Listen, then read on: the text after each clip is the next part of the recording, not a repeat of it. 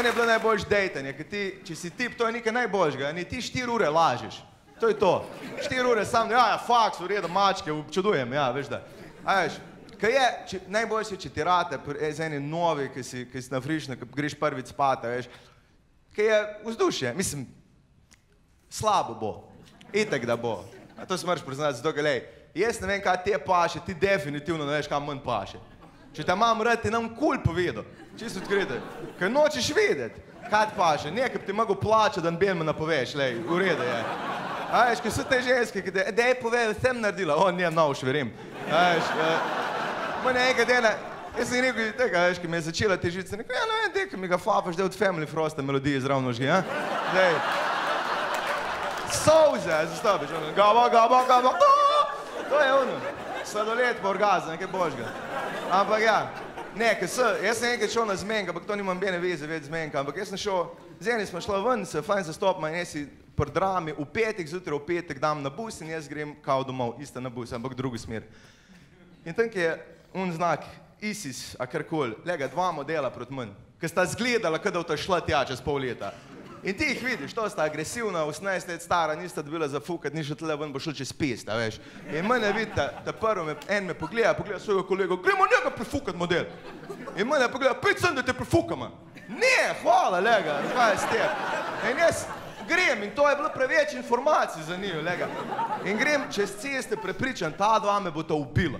In ona dva se pri cesti flegma ustavita, a veš, ker ni bilo zebre, ta pravila spoštujete. Ampak prid nazaj, ne hvala, lega.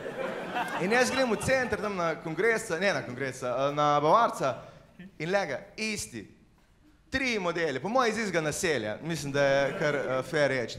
Športna oprema, lega, en me gleda čez cesto, gremo njega prefukati in on ta drug, jo, se strinjam in se začne ugrevati, lega, da se ja ne bo poškodoval med tem, ko bo mene mlatil. In jaz grem, kličem taksi, pičem, jaz laufam stran in taksi itek, ki ga naročiš vedno, ko prije. Ko se je delo, kako je bilo, a, žurka? A veš, ki ga zanima, ko se itek celi dnev v krogu fura, če ima kdo zanimiv life. In tak, jaz se gledam model, šel sem na zmenk, posla me pa dve grupi ljudi, ki izgledajo dokaj podobno kot ti, skoraj prefukali. A ko so te model prefukali? Ja, kaj smo mi čas takim delali? Kaj, prefukali smo jih, a ja, v redu, lega, okej, okay, cool. Cool. A bojo oni tudi taksi furali čez pet let, kaj je s tabo, mislim. A veš, kaj če, ne, če živiš v Ljubljani, marsikaj vidiš, jaz sem živel v čisto centru, nad klobasarne z gej cimru, bolj ironično ne more biti. Ampak, ja.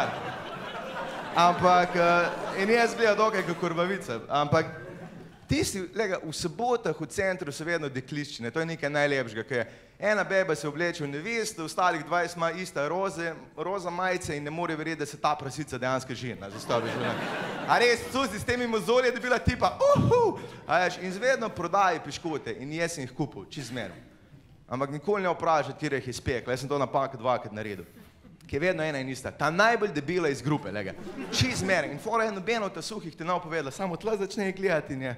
"A, on- Ti pa vidiš ono debelo od zadaj, čist nasmejano, ko ona ve, da so dobri piškoti stari, ona, ona ve, ona je kad dve kastroli požrla, pred njih je njim sploh dala.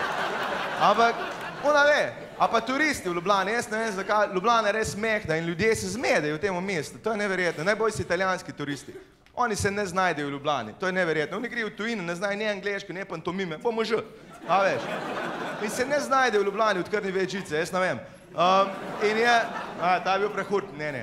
Um, in jaz, veš, meni je zanimivo, ko pride model do tebe in te vpraša za informacije. Lega, jaz ne delam za Jankoviča, meni je vse eno, kam te pošljem. Jaz jim vedno zlažem. Zakaj pa ne, lega, če tromo stav, je ni najdu, tudi mene ne bo. To je brez veze.